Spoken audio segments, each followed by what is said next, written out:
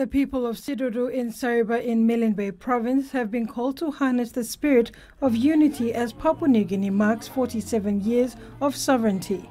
Samarai Murua MP Isi Henry Leonard said this in his speech at the 50th anniversary celebration of Sidudu Primary School on Sariba Island on Friday 16 September 2022.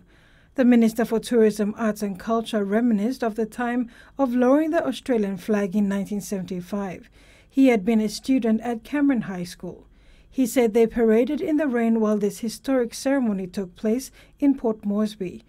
He said it was a one off experience to see the administrative flag lowered and the PNG flag hoisted to mark the birth of a new country.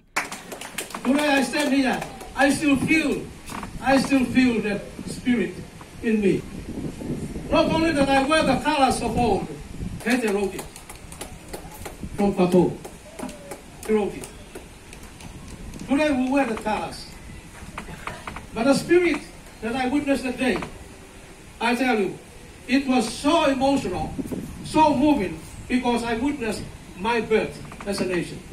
Leonard challenged the students and those gathered at Sidudu to take education seriously because acquiring knowledge and skills would ensure they had a place in the global community. He stressed that it is the responsibility of all those involved, including parents and teachers, and went on to congratulate them all on the Golden Jubilee.